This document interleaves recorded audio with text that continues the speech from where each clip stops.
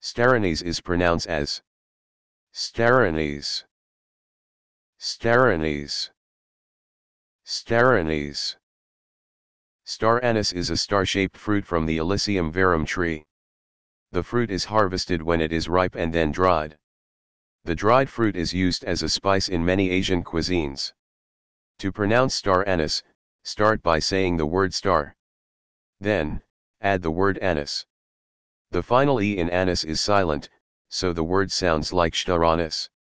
Star anise has a licorice-like flavor and can be used in sweet or savory dishes.